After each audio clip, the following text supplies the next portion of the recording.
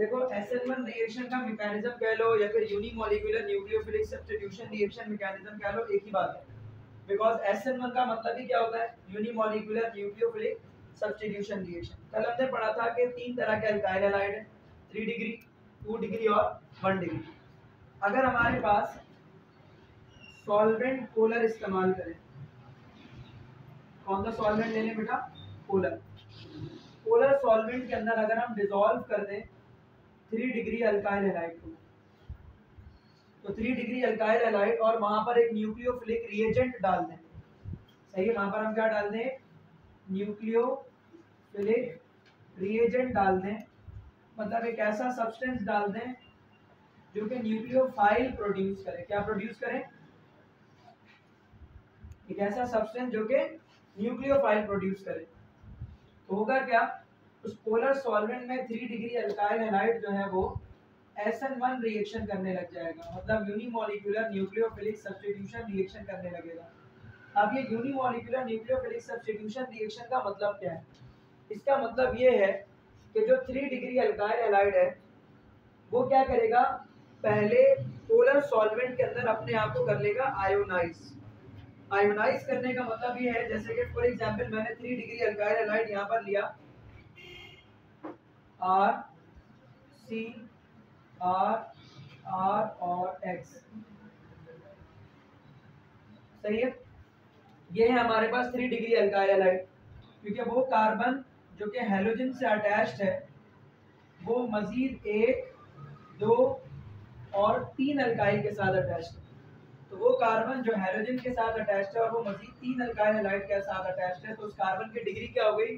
Three degree हो गई। क्या हो गई? थ्री डिग्री और इस थ्री डिग्री अल्काइल हैलाइड को जब हम किसी पोलर सॉल्वेंट में डालेंगे तो पोलर सॉल्वेंट में डालने पर ये होगा आयोनाइज सही है, इसकी हो जाएगी आयोनाइजेशन और आयोनाइजेशन के नतीजे में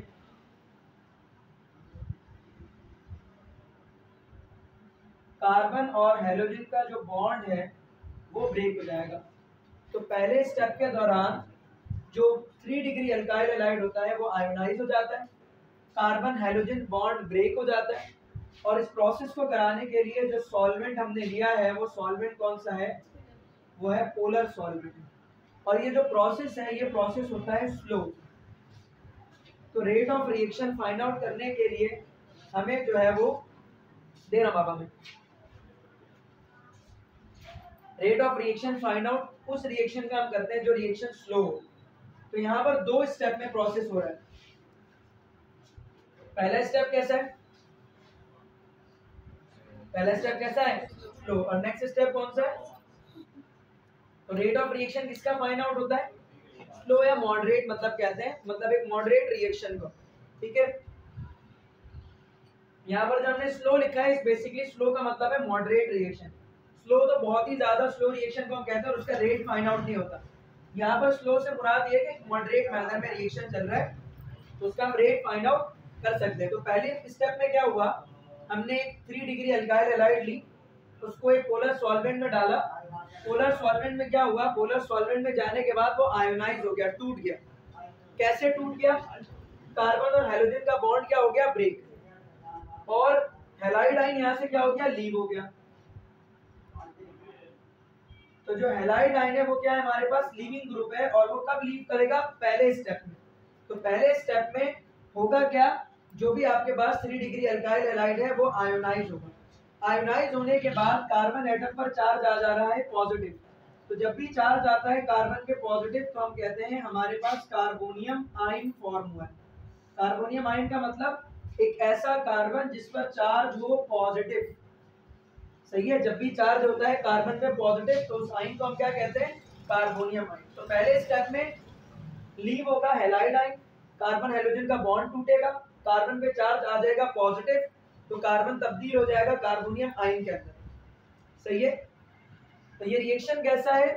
मॉडरेट या स्लो है, और इसी रिएक्शन स्टेप से हम rate of reaction find out कर सकते हैं. अब rate of reaction first year में पढ़ा था फाइंड आउट करने का तरीकेकार क्या होता है? किसी भी रिएक्शन का रेट डायरेक्टली प्रोपोर्शनल होता है, उस रिएक्शन में मौजूद रिएक्टेंट के। यहाँ पर रिएक्टेंट कौन है? अल्काइल हैलाइड सही है, यहाँ पर रिएक्टेंट कौन है बेटा? अल्काइल हैलाइड तो rate is directly proportional to the alkyl halide तो जो SN1 रिएक्शन है, इस SN1 रिएक्शन में सेकंड स्टेप में हम रेट नहीं फाइंड आउट कर सकते, क्योंकि सेकंड स्टेप वाला प्रोसेस फास्ट है। और फास्ट रिएक्शन का आप रेट फाइंड आउट नहीं करते मॉडरेट या स्लो रिएक्शन जो आपके पास जिसको हम कह रहे हैं, उसका हम रेट फाइंड आउट कर सकते हैं। और इस रिएक्शन का रेट फाइंड आउट करने के लिए इस रिएक्टेंट की मोलर कंसंट्रेशन को लिया जाएगा।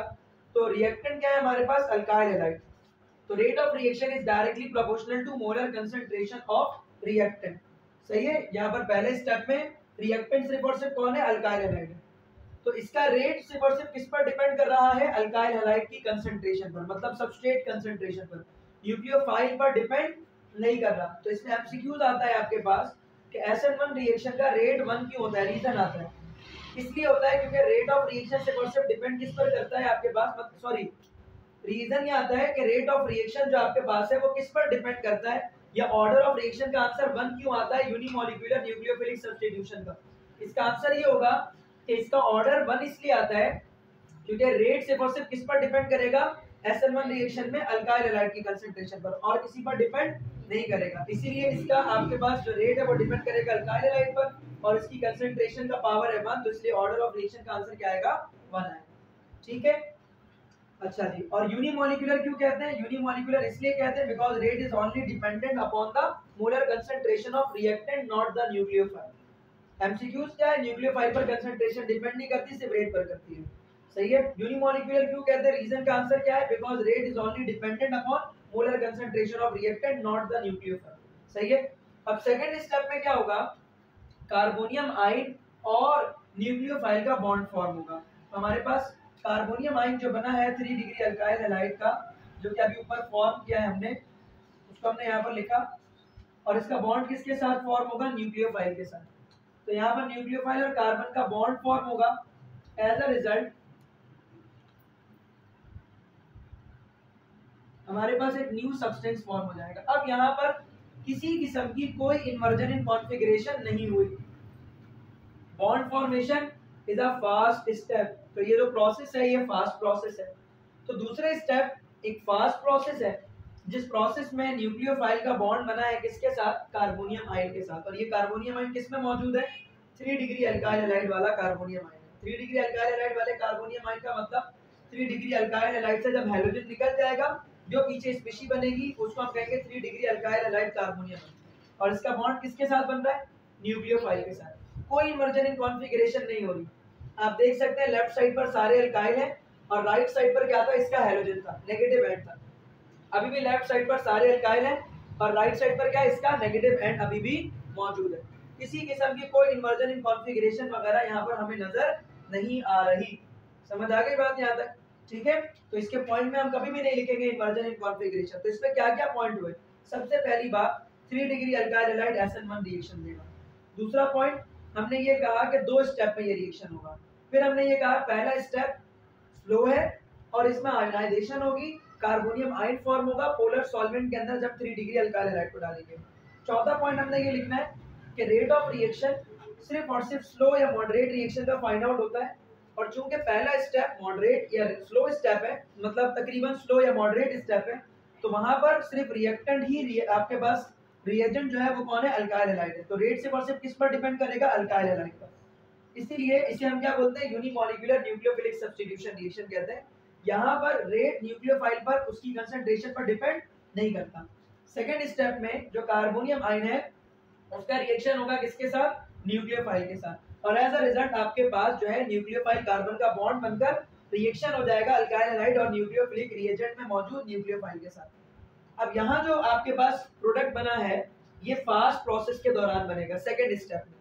मतलब न्यूक्लियोफाइल और कार्बन का बॉन्ड सेकेंड स्टेप में बनेगा। तो carbon nucleophile bond in a second step bond breaking between the carbon and hydrogen in a first step सही है?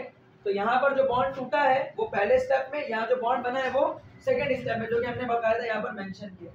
सही है? ये वाली बात क्लियर हो गई? अच्छा और मजीद यहाँ पर आप क्या लिखेंगे? There is no inversion in configuration takes place क्योंकि आप बाकायदा तौर पर देख सकते हैं, जिधर से नेगेटिव एंड निकला है, उधर ही न्यूक्लियोफाइल वाला नेगेटिव एंड आकर दोबारा से कार्बन के साथ अटैच हो गया। तो there is no what is no there is no inversion in configuration takes place यहाँ पर किसी किस्म की कोई इन्वर्जन इन कॉन्फ़िगरेशन नहीं हुई है। ये वाली बात समझ आ गई। अच्छा और मजीद कोई चीज़ यहाँ पर जो रह गई हो? और मजीद कोई भी चीज़ यहाँ पर मौजूद आपके पास नहीं है। हाँ अलबत्ता एक चीज़ और आप समझे, यहाँ पर कोई ट्रांजिशनल स्टेप नहीं आता। मतलब यहाँ कोई ट्रांजिशनल स्टेप आपको नज़र ना आने का मकसद एक ही स्टेप में बॉन्ड ब्रेकिंग और बॉन्ड फॉर्मिंग नहीं होती। पहला स्टेप बॉन्ड ब्रेकिंग स्टेप दूसरा step bond formation step S two reaction क्या था? बॉन्ड फॉर्मिंग बॉन्ड ब्रेकिंग एक ही स्टेप में होता था। अब हम नेक्स्ट जो लेक्चर है मतलब नेक्स्ट जो पोर्शन है, वो हम डिस्कस करेंगे differences between unimolecular and bimolecular nucleophilic substitution reaction ठीक है?